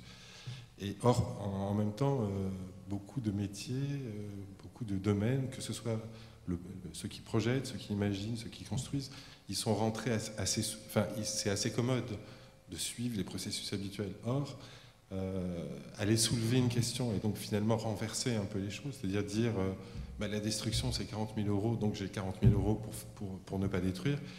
Est-ce que aujourd'hui il y a une forme de méthode, de regard sur l'activité, sur euh, le projet à faire, enfin le, projet à construire, est-ce que ça peut devenir une forme de méthode? Parce que d'une certaine manière, c'est une espèce de, quête, de, recherche de l'interstice, de l'endroit où on peut euh, changer la donne. Or, c'est assez compliqué, parce que je vois que d'une certaine façon, il faudrait être renseigné sur presque tout, c'est-à-dire euh, où est l'argent, euh, est-ce que l'argent... est-ce que est qu'à un moment on peut déplacer l'éphémère sur le durable? Enfin, comment on fait pour avoir cette espèce de connaissance qui est intime quand même? Et pour aller naviguer là-dedans Est-ce qu'il y a une méthode euh, ou est-ce qu'il y a, c'est une, à chaque fois une, quête de l'idée qui va... Non, enfin, la, méthode, c'est d'avoir envie. c'est la première des règles, c'est le moteur. On ne peut pas, peut pas faire quelque chose si on n'a pas envie. Mais moi, comme je pense que quand on ne va pas dans les interstices, on, subit.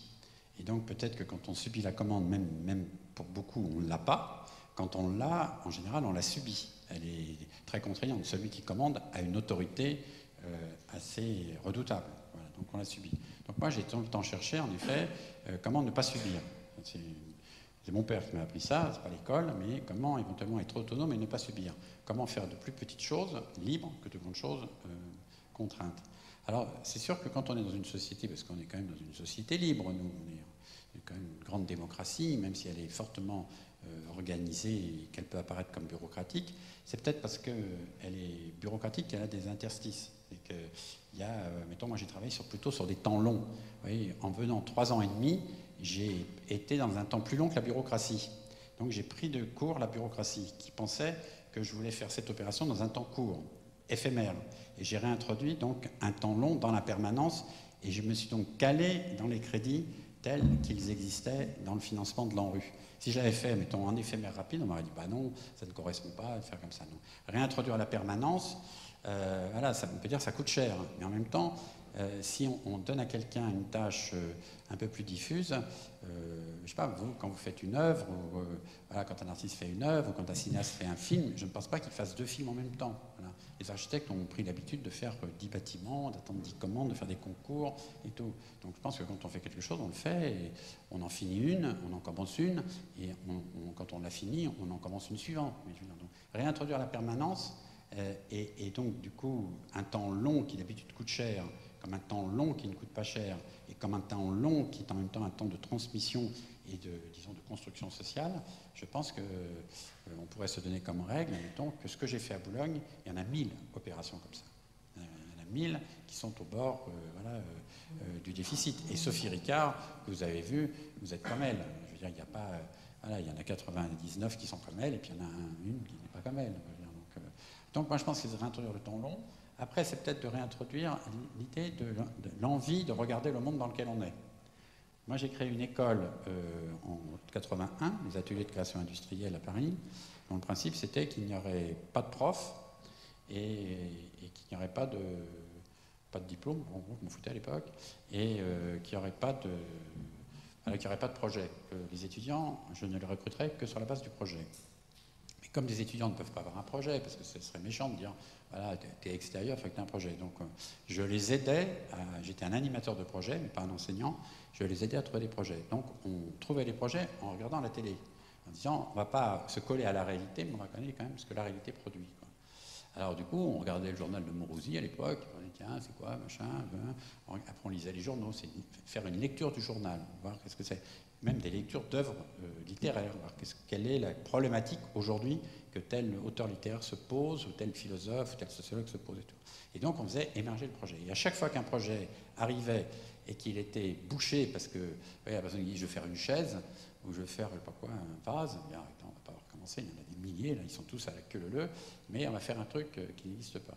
Et donc, moi, je me rappellerai toujours, il y a un étudiant, que je vois toujours, je suis très ami avec lui, euh, qui me dit Moi, je travaillerais bien sur le grignotage.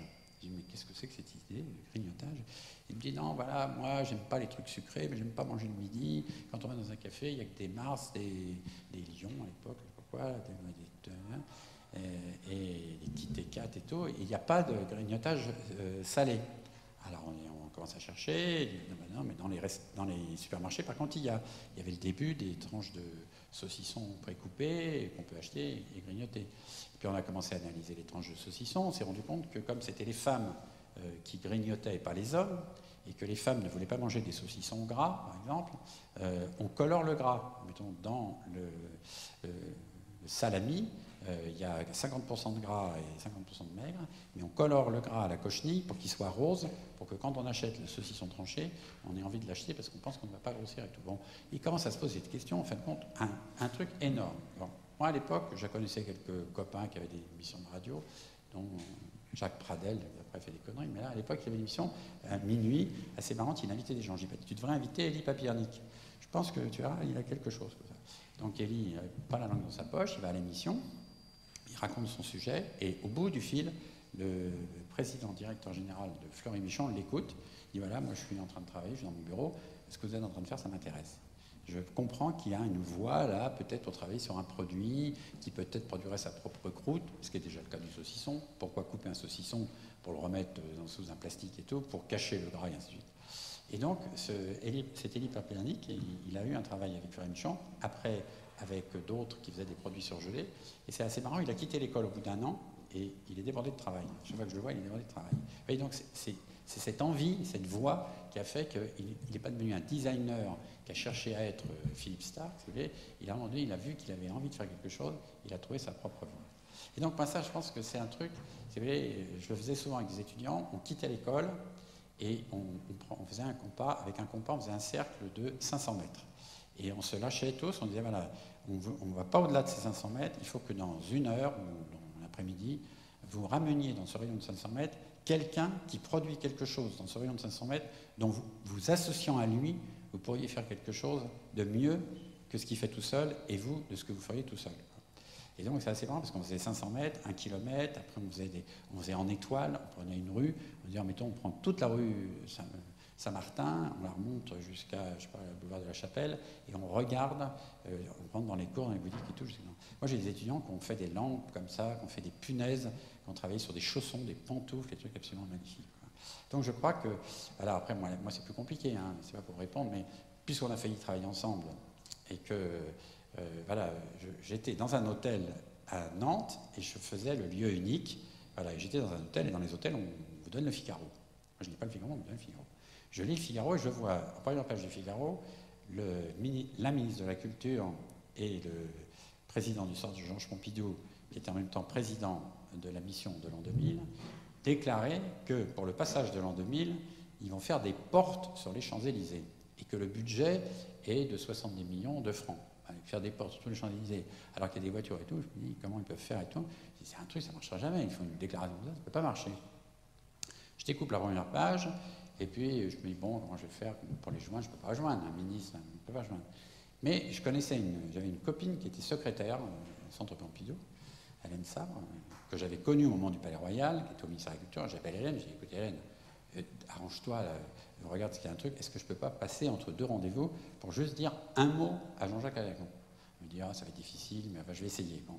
Alors elle lui dit, voilà, il y a quelqu'un qui a lu l'article dans le Figaro, il a une idée, il a un mot à vous dire. Bon, c'est un personnage curieux, Jean-Jacques. Moi, je ne le connaissais pas, hein, vraiment. Donc, elle m'appelle, elle me dit 11 heures, hop, je cours, hein, je rentre, je m'en demande, vous n'y arriverez jamais avec ça. Je dis, avant, ah pourquoi? Je vous explique ne peut pas construire des portes, il y a la circulation, vous pouvez éventuellement mettre des grues, et des grues, bon voilà, ça tourne et tout, on peut pas les arrêter, une grue, ça peut pas être fixe et tout. Il me dit, qu'est-ce que vous pourriez faire ben, Je dis, on mettrait des roues foraines. Voilà, des roues foraines, à Noël, il n'y en a pas, euh, elles ne tournent pas parce que le froid, ça ne marche pas, et donc on prend 24 roues, et on met 24 roues, et puis c'est comme une grande horloge sur les Champs-Élysées. Et top là, c'est vendu. Donc on a failli faire ensemble le passage de l'an 2000, parce que je voulais une rumeur, et donc euh, Radi Design à l'époque devait faire a fait, on n'a pas pu on n'a pas eu assez d'argent. tout le monde avait un bonnet, et dans ce bonnet, il y avait euh, un petit récepteur, et Louis Dandrel faisait une musique, et à minuit pile, tout le monde avait dans la tête la musique du passage de l'an 2000. donc, alors ça, ça ne s'est pas fait. Et alors, des fois, tout ne se fait pas, parce que moi, je ratisse très large. Je fais jamais un pour faire un, je fais 100 pour faire un. Voilà. Et non, mais c'est important, parce que sinon, on est tout le temps déçu. on est déçu une fois sur deux.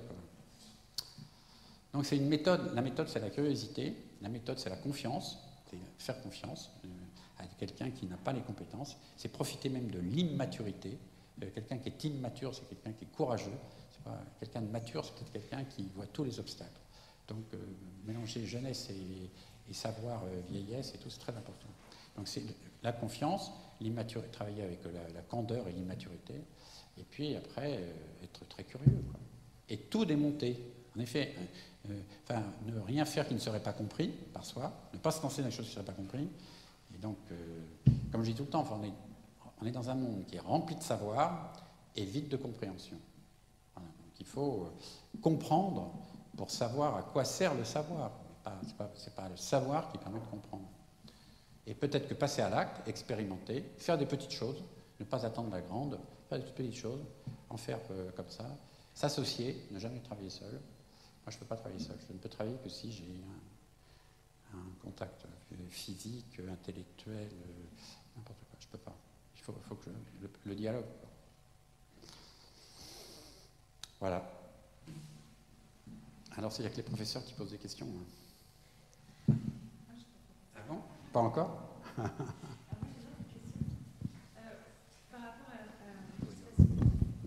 oui, ça, ça fonctionne. Une question par rapport au, titre, qui n'est pas un titre, d'architecte, et que vous donc, revendiquez ne pas être. Et ce choix quand même qui s'affiche chez vous, puisque ça, on le voit, architecte Patrick Bouchin. Pourquoi vous avez choisi quand même rester architecte et pas de dire pourquoi ne pas utiliser le mot maître d'œuvre et dans le coup de l'œuvre avec de l'œuvre d'art qui va au-delà bien entendu de simplement de la maîtrise de la construction? D'abord parce que je n'avais pas, je n'ai jamais utilisé, enfin d'abord je n'ai jamais eu le droit d'avoir une carte de visite, un papier à lettres, une plaque, ni quoi que ce soit de me revendiquer comme architecte, jamais. Et donc pendant très longtemps j'ai été maître d'œuvre. Non, j'ai d'abord été travailleur, parce que j'ai cherché à contourner, j'ai été travailleur indépendant vivant du fruit de son imagination. Ça c'est mon premier papier à lettres que j'avais regardé et que les travailleurs indépendants, ça fait drôle, euh, ne produisant rien d'autre que des idées, donc il, vit du fruit de son imagination. Après, j'avais appelé ça euh, euh, Atelier de production des idées réunies, qui était ma deuxième agence. Après, il y en a une un peu par provocation, j'ai appelé ça client, parce que considérant qu'il n'y avait pas de, il y avait pas, comme tout le monde parle de clients dans le marketing et tout, j'ai dit, je vais jouer avec ce mot. Bon, j'ai très vite arrêté parce que c'était un peu pas bien. Après, j'ai appelé ça donc euh, construire, ma, première euh, entreprise. Maintenant que je suis à la retraite, j'ai appelé ça reconstruire. Et euh, ensuite, j'ai jamais utilisé le mot architecte.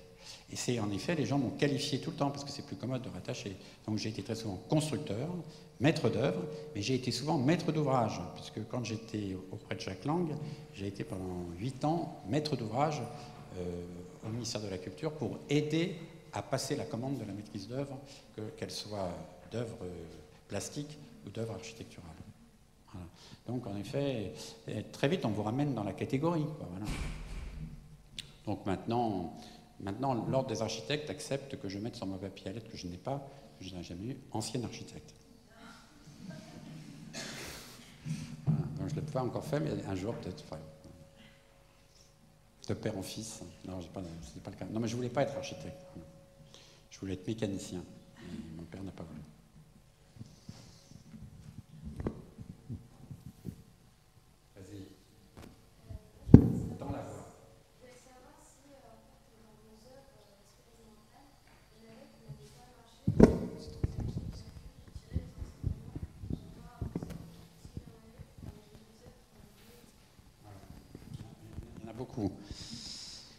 Mais elles ne sont pas vécues comme des échecs, elles sont vécues, comme ce que j'ai dit tout à l'heure, comme préparatoires à la suivante ou comme postérieures à la précédente. Parce que quelquefois, tu fais quelque chose et cette chose, euh, elle est bien faite, mais elle n'est pas satisfaisante parce qu'elle est peut-être trop courte, elle est trop bien faite.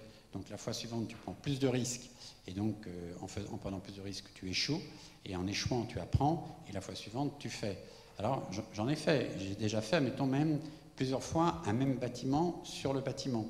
moi, je suis l'architecte de Zincaro, hein, donc, euh, je suis l'architecte de, gens de cirque depuis très longtemps, euh, depuis 74. Et donc, au début, c'était dans la rue, ils faisaient la manche. Donc, je leur ai fait plein de choses. Après, ils ont eu des compagnies, je leur ai fait les bâtiments provisoires. Après, je leur ai fait les bâtiments définitifs. Dans les bâtiments définitifs, des fois, ils ont été trop petits parce que euh, voilà, on ne s'attendait pas à un tel succès. Ou quelquefois, ils n'ont pas tenu parce qu'on a utilisé des techniques qui n'étaient pas euh, peut-être des techniques euh, voilà, pérennes, alors que le bâtiment devenait pérenne. Donc, moi, disons, pour moi, un échec, ça n'existe pas. Voilà, c'est pas, c'est un truc qui est plus ou moins bien, mais quelquefois, dans le raté, il y a la préparation du suivant. Je n'ai pas, pas d'échec. Alors des fois, en effet, j'ai des opérations que j'essaye de lancer et, qui ne marche pas. Donc j'en ai une comme ça que je ressors tous les deux ans et qui ne marche pas et je pense qu'elle marchera le jour où je mourrai. C'est un truc assez simple. Euh, j'ai rencontré un jour un, économiste parce que j'ai dirigé un service dans une ville et j'avais compris qu'il y avait des problèmes avec le foncier, que les collectivités achètent du foncier, après elles le donnent à des organismes ménageurs qui quelquefois aménagent une partie du foncier qu'on leur donne il n'aménage pas la totalité du foncier, et du coup, la partie restante, il la valorise sur le plan économique, mais elle est invendable parce qu'elle a une forme qui ne peut correspondre à aucun programme. Donc cet économiste m'avait raconté ça, qu'il y avait en fin de compte un foncier gelé qui pourrait permettre de construire des choses sans valeur, au sens de la valeur du foncier. Quand on fait un équipement culturel ou un équipement social, c'est toujours la valeur du foncier qui pénalise l'équipement. Alors du coup, euh, il s'appelle Vincent Renard, il est professeur d'économie à Polytechnique, il l'était. Il me raconte cette histoire, ça m'a travaillé.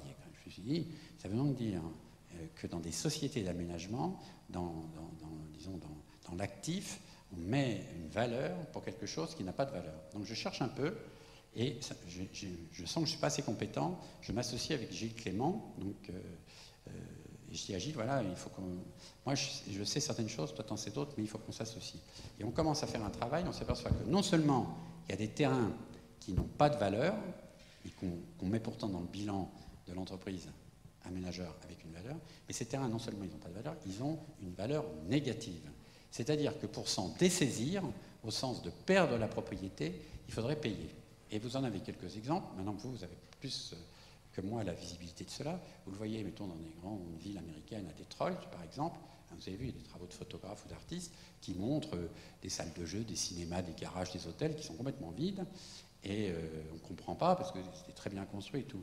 Alors il y a un phénomène très particulier qui se passe en ce moment, c'est que après la Révolution française, qui a quand même été, on pourrait dire, qui a marqué sur le plan universel, la petite propriété est devenue un acte important, posséder quelque chose, posséder un terrain.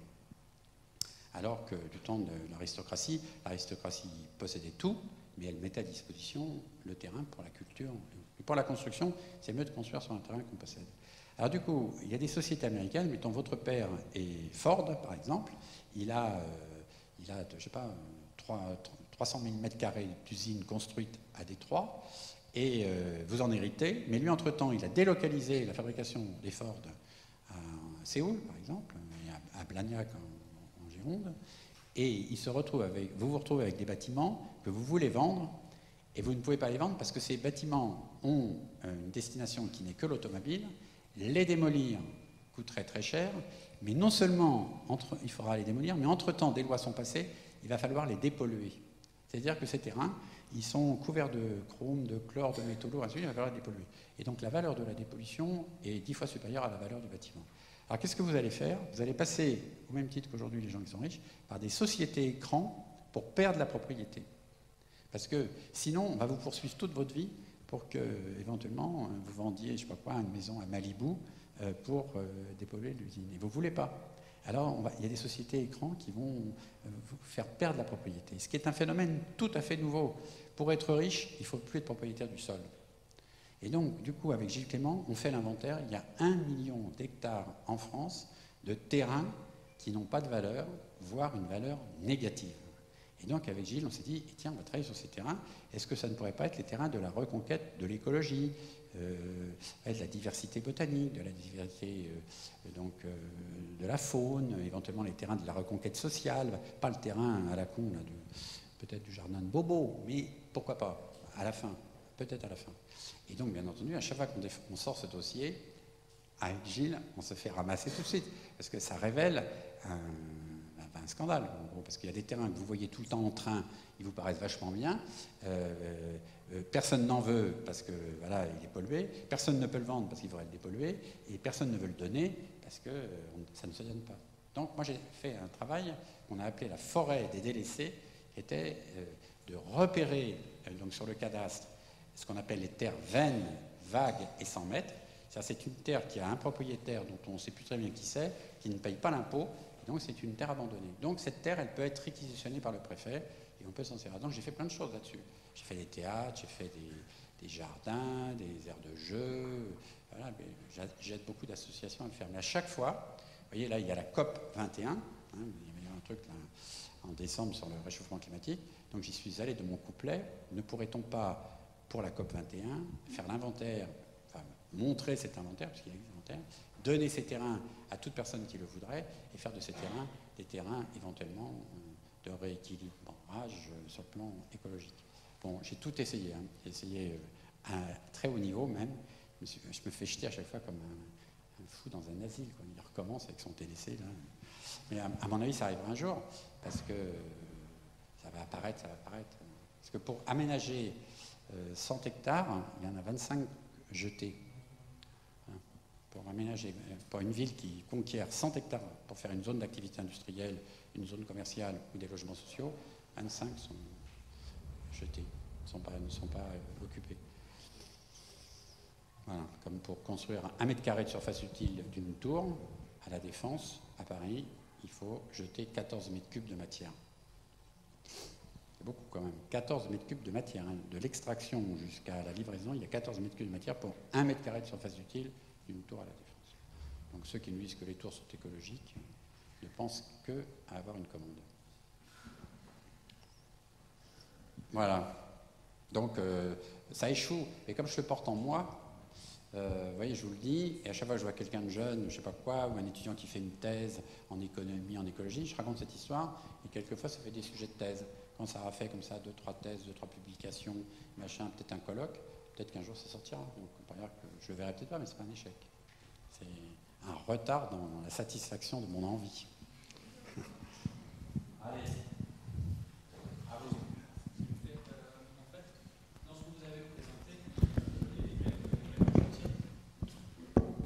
Merci. Euh, en fait, j'ai l'impression que le, la construction s'accompagne souvent en fait de l'événement, ou alors, euh, en tout cas, qu'elle y est liée intimement. Est-ce que, à l'inverse, l'événement, alors qu'il soit même social ou humain, en fait, a pu présider à des constructions, à des projets de construction? Oui. oui, tout à fait. Alors, moi, j'avais pas ça trop l'événement, parce que l'événement, c'est quelque chose qui, est, trop éphémère. Hein. donc, mais en effet, je pense que j'ai aussi bien. C'est un peu ce que disent certains. Est-ce que c'est la main qui pense ou est-ce que c'est la tête qui pense? La main peut faire un geste euh, intuitif et transformer la pensée.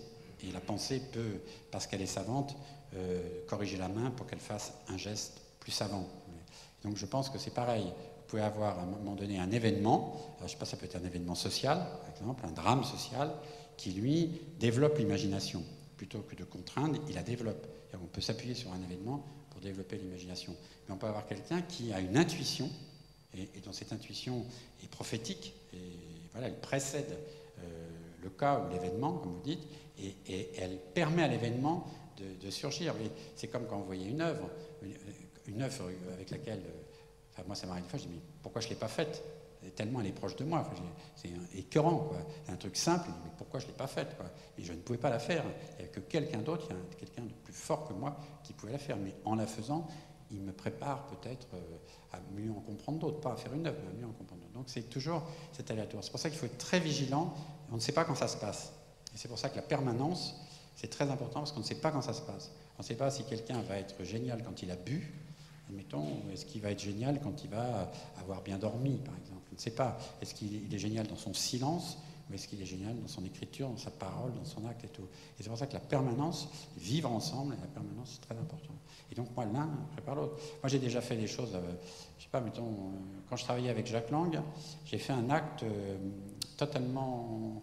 je sais pas, on pourrait dire, je sais pas comment il appelait ça, mais enfin bon, pas, il n'y avait pas un mot très sympa pour qualifier ce que j'avais fait, mais j'avais découvert, admettons, qu'on donnait de l'argent aux entreprises pour créer des entreprises. Hein, on aide une aide aux entreprises. Alors bon, si vous critiquez ça, vous dites bah, pourquoi donner de l'argent Il est riche. Non, lui, il n'est pas riche. Lui, en effet, il va créer des emplois. ah bon, et quels emplois? Est-ce qu'on peut vérifier après, quand je lui a donné l'argent, quels sont les emplois qu'il a créés et tout? Puis après, on va lui aménager un terrain, puis après, on va comme ça, puis on est content. On a créé une zone d'activité, on a emprunté, on, a une aide à l'entreprise, l'entreprise est venue, l'entreprise embauche des gens, puis un jour, l'entreprise, elle met la clé euh, sous le paillasson, et vous, en tant qu'élu, vous gérez le social des gens qui sont au chômage parce que vous avez, en fin de compte, permis à un loufiat de venir se installer. Un jour, j'ai dit à Jacques Lang, on va faire l'inverse, on va donner euh, des logements qu'à des gens qui s'aiment. Non, voilà, il y a des gens, des jeunes, voilà, ils viennent de se rencontrer, ils n'ont pas de logement, et nous, on va faire une ville où il y a des gens jeunes qui vont venir parce qu'on leur donne un logement. Mais c'est pas possible, des logements. Comment c'est pas possible Puisqu'on donne des terrains aux autres. Alors, euh, c'est pas possible non plus. On donnerait de l'argent public à un privé. Euh, si encore ils remboursaient, ok, mais ils remboursent pas. il y a plein de mecs qui fonctionnent avec des subventions. Est-ce qu'on pourrait faire une subvention à l'amour Ah, oh, quoi, non. Alors j'ai ben, on va voir avec un office d'HLM. Il y a des logements vacants, il y a des rez-de-chaussée d'immeubles vacants. Est-ce qu'on pourrait négocier avec un office d'HLM plutôt que d'avoir un truc vacant, le donner à quelqu'un qui ne paierait pas de loyer, dont sa présence serait une valeur, une valeur sociale. Et donc, du coup, j'ai eu beaucoup de mal. Je l'ai fait. Donc je l'ai présenté dans un conseil municipal, voilà, je connais des gens, et, ils sont étudiants, puis maintenant ils cherchent un emploi, mais c'est vrai que le gros problème c'est qu'ils sont loin, et s'ils habitaient là, euh, ça réglerait un problème, puis peut-être que leur harmonie est un exemple pour d'autres qui pensent que voilà, il n'y a pas d'harmonie possible, que ce n'est pas possible éventuellement de vivre en harmonie. Donc je l'ai fait, mais ce qui est terrible, c'est vous par rapport à ce que tu dis, quand je suis parti, ça s'est arrêté. Là, il faut tout le temps quelqu'un qui fait attention que ça, on n'y touche pas. Alors moi, après, j'ai fait exprès, j'ai mis mon agence, mon bureau, dans un local poubelle. parce qu'il y avait des, rez-de-chaussée d'immeubles qui étaient fermés. Et donc, du coup, j'ai dit, bah, je vais mettre le local voiture d'enfants et le local poubelle. Donc, j'ai cassé les cloisons, je me suis installé à rez-de-chaussée. Et du coup, cette tour qui allait être démolie est devenue un lieu d'activité très important, parce que le maire, qui était en même temps ministre, donc Jacques Lang, venait dans un local poubelle pour voir le projet de la ville. Et donc, ça a changé les rapports. Donc ça, voilà, c'est à un moment donné, vous jouez sur euh, comment les choses sont dites, comment les choses sont comprises. Et si vous avez quelqu'un en face de vous qui est de bon sens, ben, il dit, bah oui, c'est vrai, il a raison. Il a raison. Donc moi, je crois que c'est sans limite. D'ailleurs, c'est ça la, vie. C'est sans limite. Un truc, euh, même ça, ça, ça met du punch.